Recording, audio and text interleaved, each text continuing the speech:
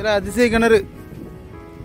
அதிசய கிணறு அதிசய கிணத்துக்கு நேற்று வரைக்கும் நல்லா தண்ணி போச்சு. இன்னைக்கு பால் ஊற்றியாச்சு அவ்வளோ பலகை ஜல்லி மண் எல்லாத்தையும் உள்ளே விட்டு உள்ளே ஊற்று பால் ஊற்றியாச்சு நேற்று இன்னைக்கு. கேட்டியா?